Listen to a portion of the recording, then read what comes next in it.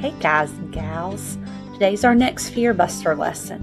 Today we're going to bust fear with courage, and we're going to explore the promised land with Caleb and Joshua in Numbers chapters 13 and 14. Today we're going to do our Bible story a little different.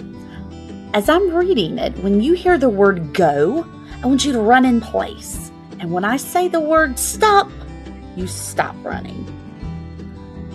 God's people, the Israelites, were close to the land that God had promised them. Moses chose 12 men to go explore the new land. The Israelites couldn't wait to hear what the promised land was like.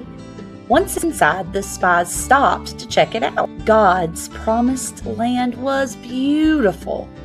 Everywhere they would go, there was good food, and the land was amazing. But they stopped when they saw the giants in the land. When the spies came back to give God's people a report of the land, ten of the spies were very scared. They said, The people are so big and they're so strong for us to go in. They said that the giants would stop anyone who tried to go in their land. We're like little grasshoppers compared to them, they cried.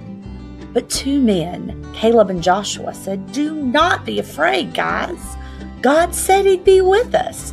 He wants us to go into the promised land. But everyone stopped listening to Caleb and Joshua. Instead, they listened to the ten scared men. All the Israelites let the fear of those ten men spread to everyone. The Israelites had forgotten God's word when he said he'd be with them. God told Moses, Because these people don't trust me, they will not go into the promised land. So the Israelites had to stop their journey to the promised land. For 40 more years, God's people walked around the desert. Finally, many years later, all the people who had not remembered God's word were gone. Caleb and Joshua were still alive, though, and God rewarded them by allowing them to go into the promised land. Caleb and Joshua never stopped having courage. They knew they were doing the right thing, and they also knew God was with them. The Israelites listened to the ten men and their fear instead of listening to God. Because of that, they did not get to go into the promised land. When we're afraid, we can stop and remember that God is with us. He's going to help us do the right thing. We just have to have courage and believe. In our story today, who had courage to do the right thing? That's right, Caleb and Joshua.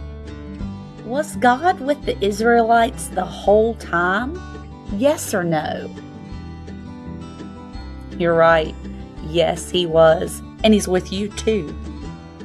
What happened to the Israelites when they let fear control them instead of having courage and believing in God?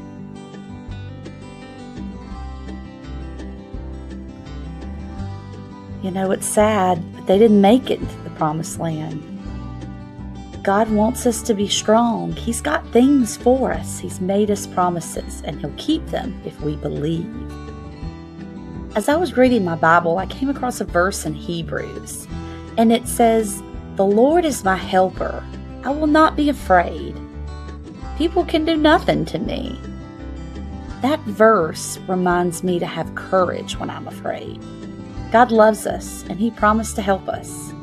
We can hold tight to that promise always and forever. I love you guys. I'm very excited about what's coming up next. Starting Sunday, we get to start celebrating Easter.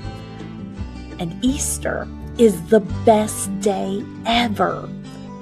So be on the lookout Sunday for our Easter lesson as we put a short pause on Fear Busters as we get ready for the best day ever. Before we say goodbye, I want to go over our memory verse for Fear Busters. Look at the pictures and let's say it together.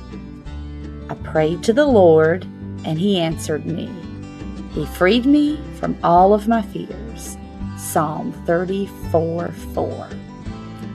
Y'all have a good week, and I'll see you Sunday.